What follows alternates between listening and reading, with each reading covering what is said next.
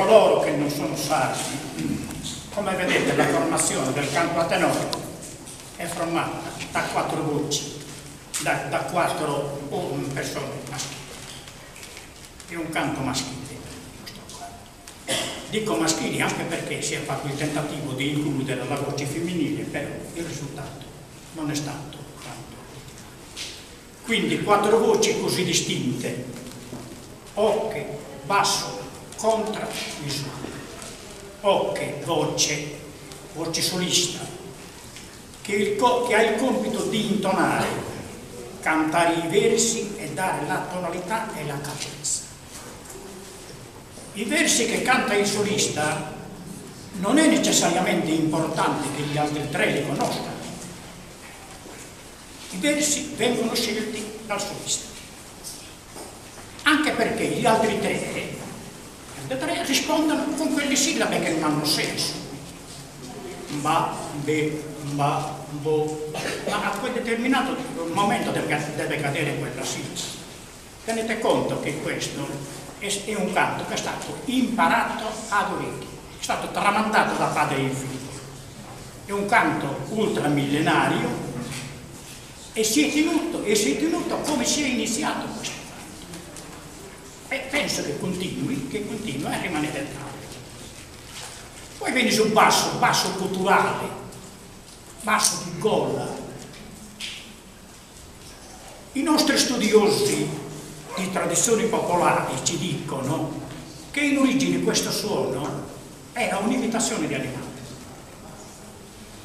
Tenete conto anche che non tutti gli antropologi, etnomusicologi la pensano alla stessa maniera, non tutti sono d'accordo, perché dicono che scientificamente non è provato. Certo, scientificamente non è provato, perché mille anni fa non si scriveva il suono. Il suono del basso viene fuori stringendo fortemente le corde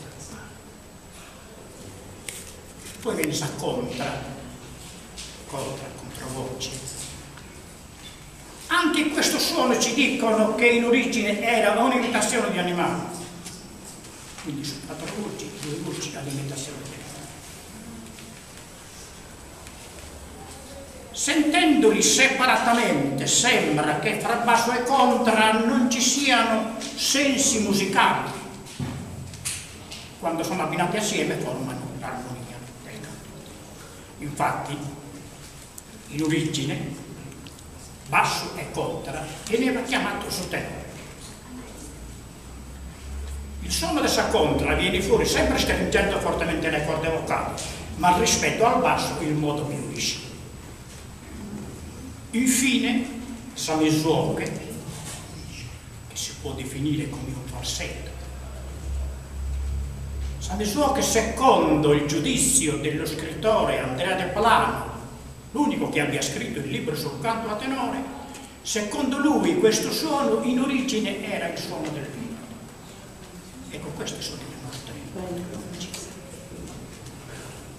Adesso vi presentiamo un canto di fa vi abbiamo presentato stirrita e poche note, poche note che significa voci di note, cioè la serenata. Adesso vi presentiamo un canto di. Sì.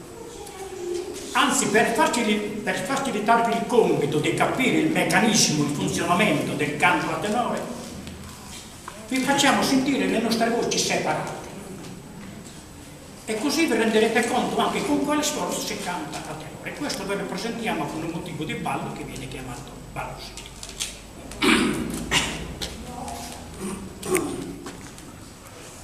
Divinas armonias en liuton, divinas armonias en liuton, derirar fiorinos en mandolan, divinas armonias... Basso. Bim bam, bim bam, bom, bim bam, bim bam, bam. Contra. Mum. Bimba bimba mum. Baram bimba rambum. Misoke. Baram bimba rambum. Baram bimba rambum. Divinas armonias et diuton, divinas divinas armonías en Dios ponderinas figurinos en mantoran divinas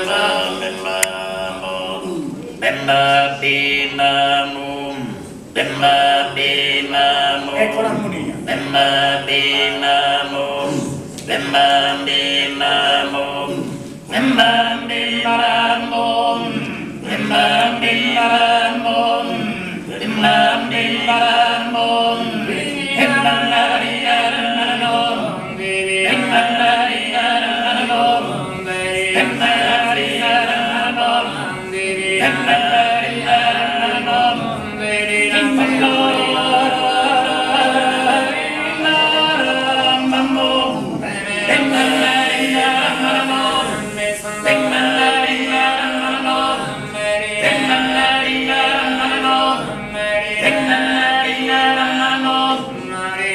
Yes,